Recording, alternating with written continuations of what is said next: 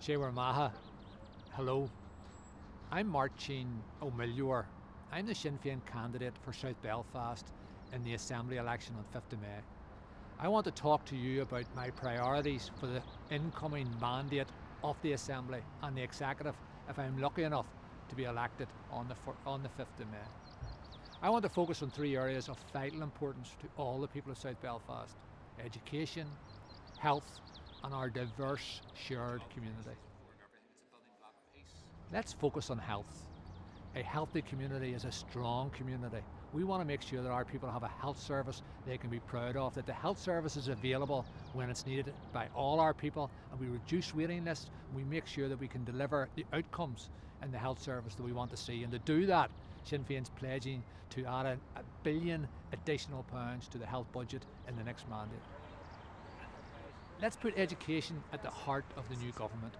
Let's build on the great work that has been done by magnificent schools across South Belfast. We're proud of the new buildings which have been sanctioned and endorsed by successive Sinn Féin ministers, but there's much more to do to make sure that our children are empowered to have the careers and successful lives which we wish for them.